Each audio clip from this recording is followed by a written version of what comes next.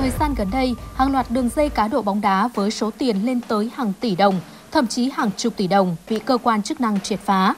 Mới đây nhất, ngày 4 tháng 7, Công an thành phố Đà Nẵng đã triệt phá đường dây tổ chức đánh bạc dưới hình thức cá độ bóng đá qua mạng Internet với số tiền giao dịch hơn 100 tỷ đồng.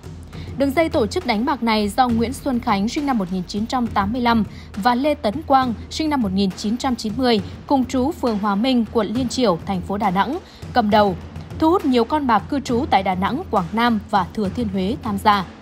Kết quả thống kê từ tháng 5 năm 2024 đến nay cho thấy số tiền cá cược của các đối tượng là hơn 100 tỷ đồng. Đáng chú ý, chỉ trong 2 tuần từ khi khởi tranh giải vô địch châu Âu Euro 2024 và Copa America 2024, số tiền các đối tượng cá cược đã hơn 50 tỷ đồng.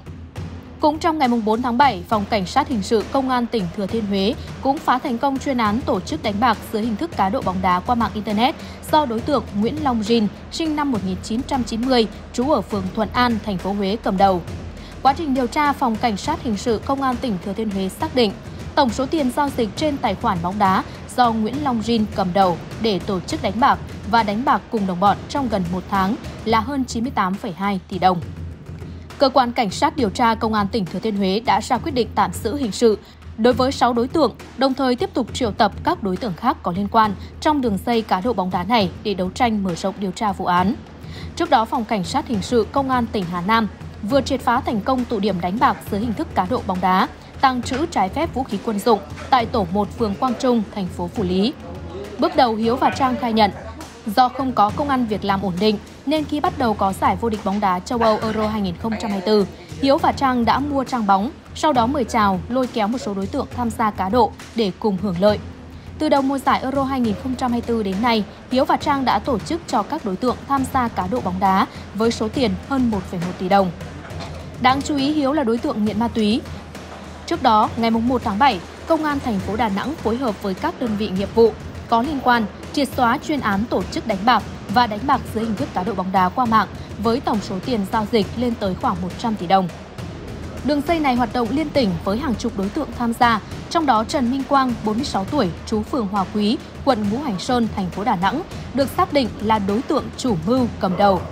Chỉ trong thời gian từ cuối tháng 5 năm 2024 đến khi bị bắt giữ, đường dây đánh bạc qua mạng do Trần Minh Quang thực hiện đã tổ chức cho hàng ngàn lượt người tham gia với tổng số tiền đánh bạc hơn 100 tỷ đồng.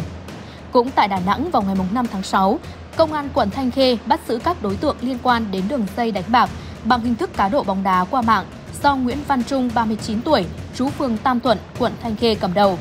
Chỉ tính từ ngày 29 tháng 4 đến ngày 2 tháng 6, tổng số tiền đánh bạc của các đối tượng trong đường dây cá độ bóng đá này ước tính khoảng 8 tỷ đồng.